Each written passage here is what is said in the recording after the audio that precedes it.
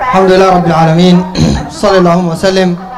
وبارك على نبينا محمد وعلى آله وصحبه أجمعين. وبعد أنا إن شاء الله في ختام الحلقة دار أعلق على حدث تناولته وسائل الإعلام ومنهم من علق عليه تعليقا صحيحا ومنهم من تحامل وظلم وتجنى.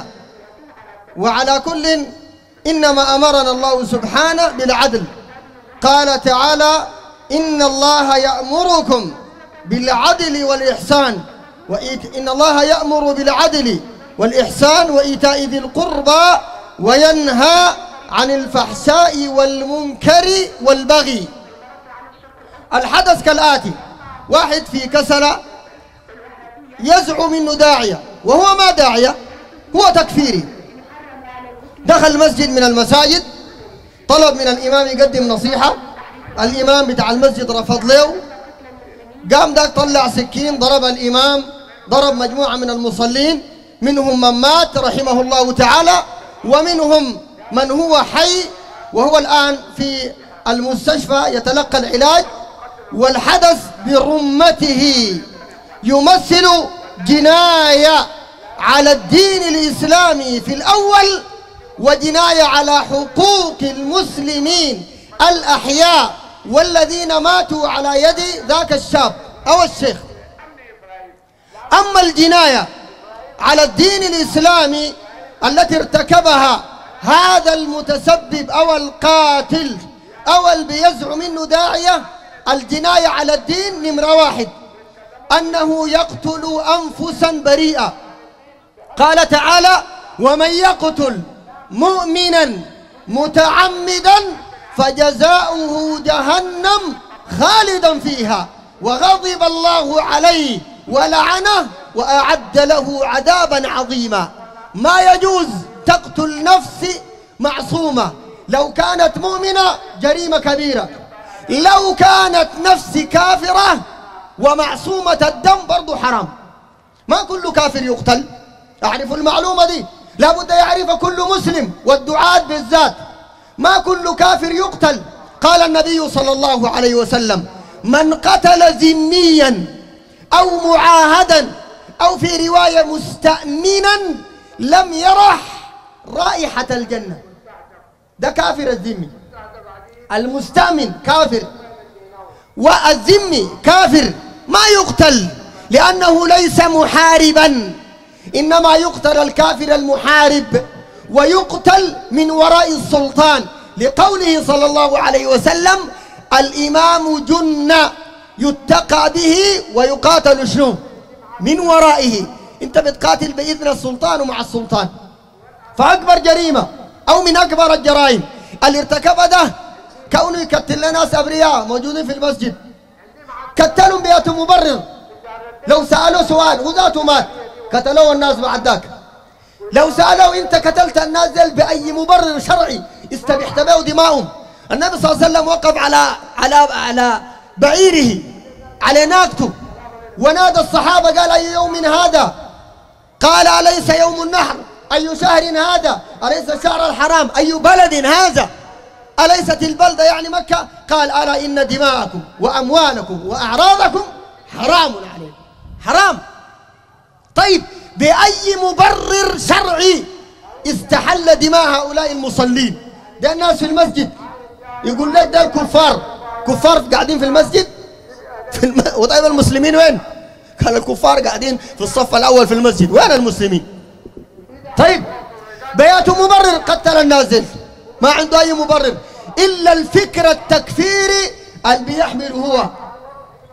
ديل ناس تكفيرين بيحملوا أفكار إنه الحكومة كفرت والشعب الذي أطاع هذه الحكومة وسمع وأطاع للحاكم والشعب الذي تحاكم لهذا الحاكم عندهم كافر. ده عقيدتهم كده التكفيرين. وبالتالي هو يستحل دماء هؤلاء الأبرياء الموجودين داخل المسجد. قتلهم. دي جريمة. نمرة اثنين ارتكب جريمة أخرى في حق الدين الإسلامي. كونه يصور للمجتمع المسلم والمجتمع غير المسلم يصور له إنه هذا هو الإسلام. دي جريمة كبيرة ولا ما كبيرة؟ بل هذه أكبر من الأولى. كونه يصور للناس إنه الدين. تخش الجامع دار تنصح الناس. قبلوا منك قبلوا ما قبلوا تجر سكينك وتطحنه ده الدين؟ يا تدين من من الأديان. ها؟ أمر بهذا. إن صح نقول أديان. وإن كان الدين واحد. ما في شريعة من الشرائع أمرت بقتل المدعو. الناس اللي انت بتخرج عليهم في الجامع ديل دار تدعوهم أنت صح؟ دار تدعوهم. في دول دار تدعوهم تقتلوا طيب دار تدعوهم أنت أصلا؟ ده مش وهم؟ وهم. ومرض ديل ناس بلوى وسبة.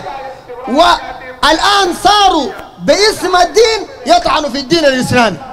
والله أحيانا أنت تشك في إنه اللي بيعملوا العمايل دي ما مسلمين أصلا هم.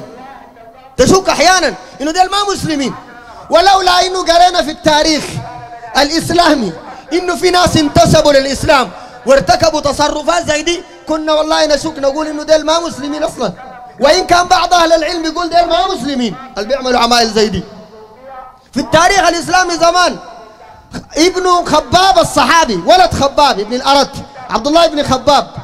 لاقوه الخوارج زي الزول ده زي ده. لاقوه وقال له حدثنا حديث عن رسول الله صلى الله عليه وسلم.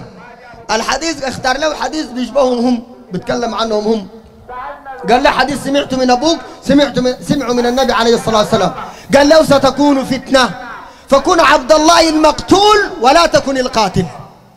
اول شيء قتله وخلوا دمه جاري جوا النهر زي شراك النعلة زي شراك النعال جوا.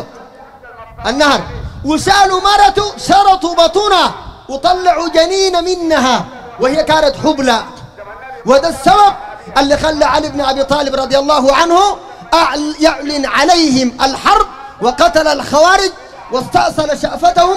لكن ورد الحديث عن علي عن رسول الله صلى الله عليه وسلم أن الخوارج يخرجون من أصلاب الرجال إلى يوم الدين. ما بينتهوا انت قال بينتهوا ما بينتهوا الفكر ده قاعد في الأمة.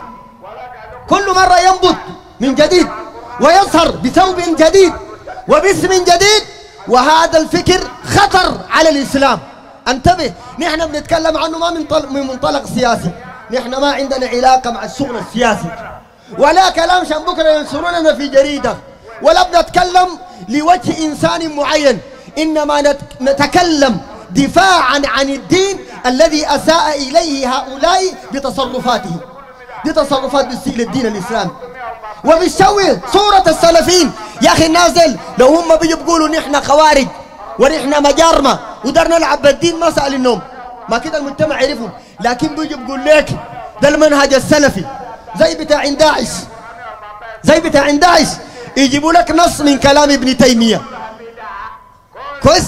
دارين يتلبسوا. بسبب ابن تيمية عشان يشوهوا صورة شيخ الإسلام الذي هو رمز من رموز الدعوة السلفية التي تتسم بالعلم والعدل وتتسم بحب الخير للناس وتتسم بالدعوة الصحيحة النقية ورد الباطل ومحاربة الشر بالكلمة بالحجة والبيان من الكتاب والسنة. دي دعوتنا نحن. دعوة قائمة على مجادلة الخصوم أيا كانوا بالكتاب وبالسنة. قال تعالى وجادلهم بالتي هي أحسن. قال تعالى ولا تجادلوا أهل الكتاب إلا بالتي هي أحسن. إلا الذين ظلموا منهم. نحن بنناقش الدعوة السلفية ما بتنطلق من حرب ولا بتشن حرب على المجتمع ولا بتقتل الأبرياء في المساجد ولا في غير المساجد. الدعوة السلفية بريئة من ده كله. بريئة من كل هذه التصرفات. ما يوم من الأيام تظن إنه السلفي ممكن يخش مسجد مش يضرب ناس. لا. مش يعتدي على زول بعصاية ولا عكاز ولا بسكين. لا. لو إمام المسجد قال لك ما تتكلم ما تتكلم. دي مسألة شرعية. ودي من الإخطاء اللي ارتكبه الزول ده. الإمام بتاع المسجد هو المسؤول عنه. ومن ناحية قانونية. إمام المسجد له الحق في إنه يقاضيك. لو أنت تكلمت بغير إذنه عنده الحق.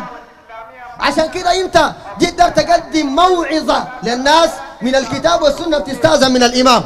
أذن لك أتكلم. قال الله قال رسول الله هذا حلال هذا حرام. الأدلة على كده جادل المجتمع بالتي هي أحسن وبالكلمة الطيبة بالكتاب والسنة. نفعت. الحمد لله. ما نفعت أمسك خشبك عليك. وليس لك الحق إطلاقا إطلاقا. في إنك أنت ترغم الناس.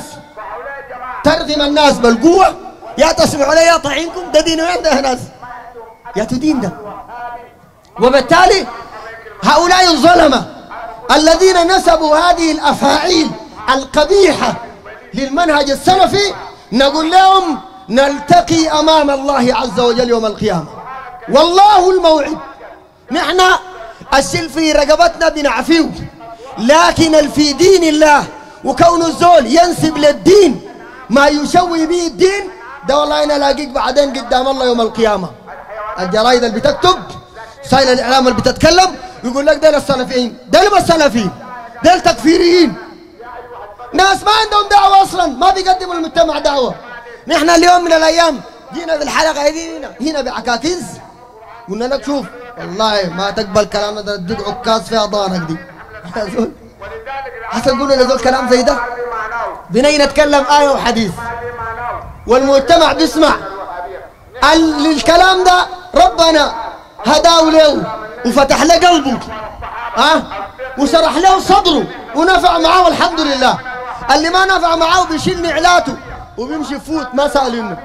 بنجي في الجامع بننظم عجبك الكلام؟ اسمع. ما عجبك شيل نعلاتك وامشي لكن الأفعال القبيحه المسينه المسيئة اللي بيعملوا فيها التكفيرين لا علاقة لها أصلا بمنهج أهل السنة والجماعة ولا علاقة لها بمنهج الإمام محمد بن عبد الوهاب ولا ابن تيمية ولا الإمام مالك ولا الشافعي ولا أحمد بن حنبل ولا الإمام الطبري ولا واحد من أئمة الإسلام وأئمة الدين. ما عندهم علاقة معه. دي كلها أفعال تكفيريين أتباع الخوارج نزع عبد الله بن سبع اليهودي وغيرهم من أعداء الدين الإسلامي. ده تعليق أنا حبيت أنبه عليه لأنه المسألة مهمة ومنتشرة بين الناس. أسأل الله لي ولكم التوفيق. السلام عليكم ورحمة